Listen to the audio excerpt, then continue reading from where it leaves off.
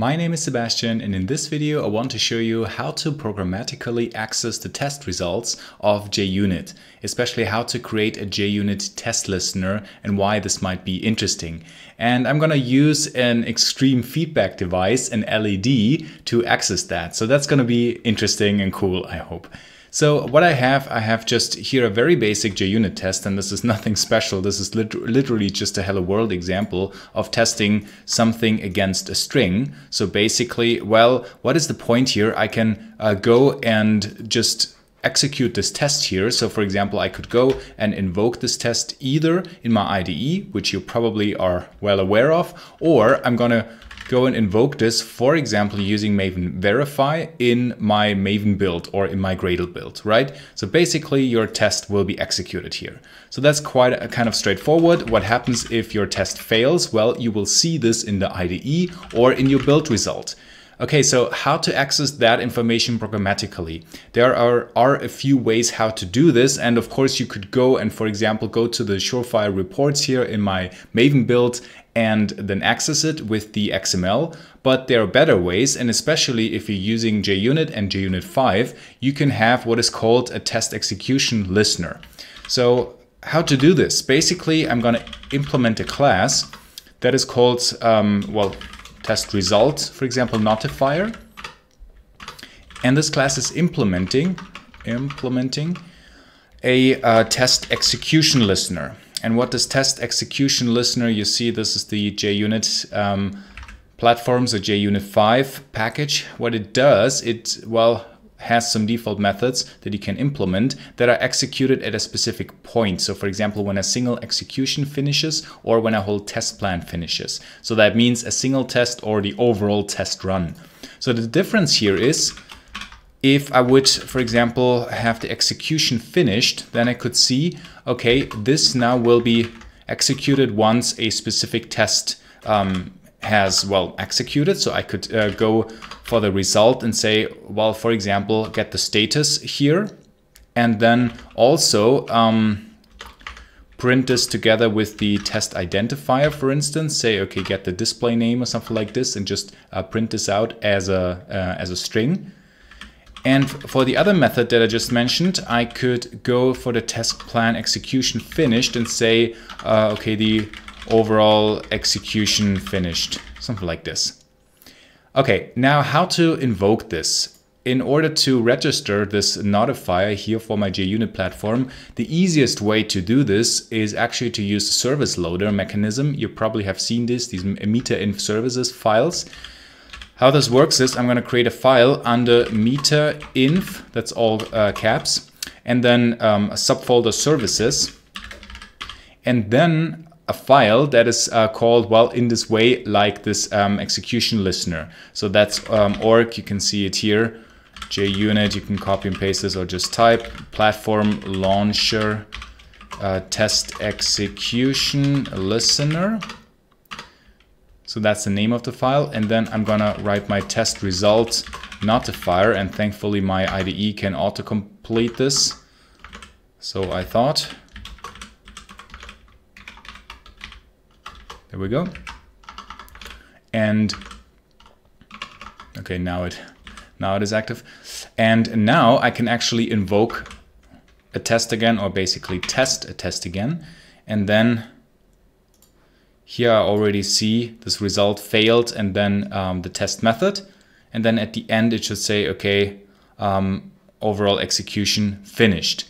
Okay, interesting. So that's uh, basically the overall execution here. Let's um, include another colon uh, there, something like that, where this is status, let's say status name, just that this is a string. And now I'm gonna invoke this just to show it differently in my build here, and that should work as well. Okay, failed um, and then successful for this overall. So it goes through uh, multiple uh, sort of components um, uh, that we have. So now I'm actually just running one single test, but that doesn't matter. I could um, invoke multiple ones. Um, I also have an IT that then would fail because the um, application is not running. So if I invoke the whole um, test here, then I basically have failed test hello and failed test coffee. So this is basically failing now twice. Okay, so what to do with that? I basically can invoke uh, now or programmatically access the result of these overall test runs. So I could do something in this execution finished method, for example, and then just get the result. Or basically what I want, I want to get the ultimate or the overall result of my test plan. So then I say I'm gonna um, save this here in a um, variable. So I say private uh, boolean something like passed.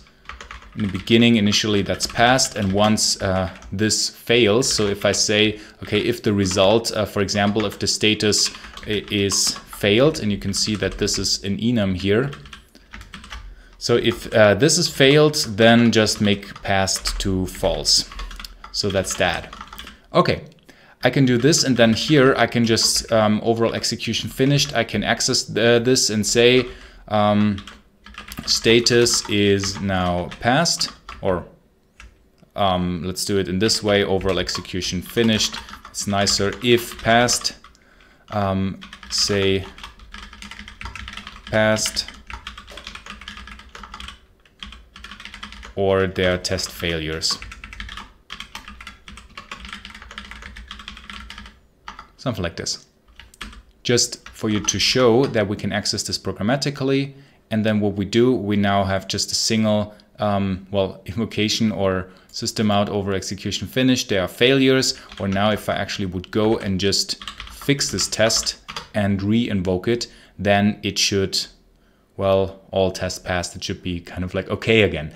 Because now what I can do, I can go in my test result notifier and well, notify something.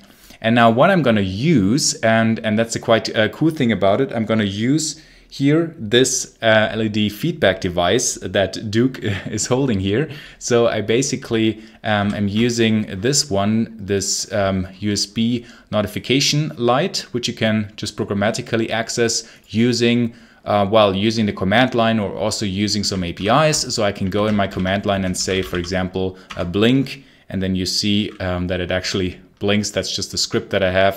So for notification, when is this actually helpful? Well, if I say I have a very long running test and then I just want to, uh, well, switch my workplace, have some other windows uh, focused and then get some still some notification. Of course, you could argue you could also have another type of notification, but I think it's just kind of cool to see this as an LED. And okay, how to include this now in this um, listener? Well, basically what I can uh, do here, I could say, please use a so-called process builder for a process. So say something like new process builder and then inv invoke this. Um, it's called uh, Blink one tool with some arguments. So for example, I say, well, this is, should now be green. So um, that's that. Um, it can be green and then that would be a process builder start the process. So then I have a process and say, okay, process wait uh, for it to finish. Okay, and then I need to catch an IO exception and interrupted exception here. So just, well, I'm not interested in that actually, um, in case uh, there is an exception. And then I basically just invoke that.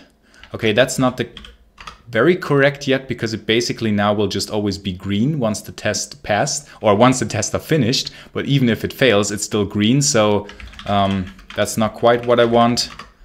I basically want to say there is a um, result, of course. So as this argument, it should be either green or red. So if it is passed, then please make it green. Otherwise, make it red, of course, which I'm gonna use here and saying, okay, that's gonna be the argument there. And then it will be displayed regardless.